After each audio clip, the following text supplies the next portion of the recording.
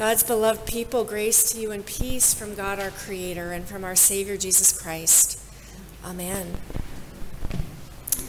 It's good to be with you today to share this beautiful space and to hear your voices, even though we're not all singing together. It's good to hear your voices singing and to join our voices together. It is such a precious gift to be able to be together in person. And for those of you that are joining us online, we're happy that you're with us as well, and we look forward to the day that we can all be back in person together. Our gospel story takes place at a gathering of people. People weren't sitting in chairs like you are, nice and orderly, and working through a liturgy and um, following pandemic protocols. The gospel writer describes a large, somewhat unwieldy, it sounds like, crowd of people that were clamoring for Jesus. It was a very diverse crowd from all over the area, all sorts of people from all sorts of places, Jews and Gentiles, urbanites and rural folks, some of sound mind and body, others who were suffering from various ailments. It was a very unlikely assembly of people, especially for those accustomed to following purity codes as part of their religious practice. The text is clear that this was a gathering of so called clean and unclean, of devoted people, of those who were curious, and those who were skeptical and suspicious. I bet that nobody was wearing a mask. This is the kind of gathering, to be honest, that I try to avoid. But Jesus didn't like me. He often found himself surrounded by crowds of people, all kinds of people. Word was out about him that he offered good news to the poor, liberty to those captive, sight to the blind, jubilee for all. Infused with divine power, he used this power to heal people, to cure them of their ailments, and to restore them to their relationships, to the communities from which they had been cast off. Word had spread, and people responded in droves. I imagine it was a joyful, chaotic, energy filled scene.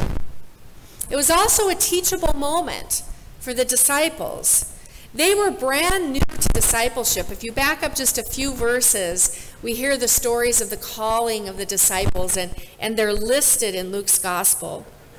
They had just dropped their nets or closed their books or their tax ledgers or whatever they needed to do in order to follow Christ's call.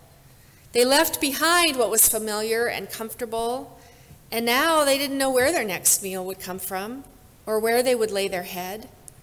Friends and family members wondered if they had lost their minds taking up with this itinerant preacher, risking their safety and their reputation to join this Kingdom of God roadshow. In the midst of the hubbub, Jesus turned to his disciples and he said, Blessed are you who are poor, for yours is the kingdom of God. Blessed are you who are hungry now, for you will be filled. Blessed are you who weep now, for you will laugh. Blessed are you when people hate you, and when they exclude you, and revile you, and defame you on my account. Rejoice and leap for joy, for your reward will be great. Jesus did not see the people around him as a gathering of deplorables. He saw them as the blessed ones, the fortunate ones is a good translation of this Greek word, fortunate. You are lucky to be in this place, he tells them, at this moment with these people, because here is where the kingdom of God is breaking in. Here is where lives are being transformed by divine mercy and grace. To underscore this unusual perspective, Jesus continued Woe to those of you who would rarely find yourselves in this place with these people. Woe to the rich, to the protected, the comfortable and secure, those with plenty to eat, whose lives are filled with pleasure. Woe to you who would never risk losing the admiration of others, who are too insulated or privileged to stand on level ground with the sick and the suffering, the unclean, the cast offs. Woe to you, for you will miss this moment. You will miss the breathtaking impact of the reign of God in Christ. Jesus drew a bright line in his preaching and teaching. I often hear him described as somebody with no boundaries, and I don't understand Jesus that way. It's just that his boundaries are in different places than mine are.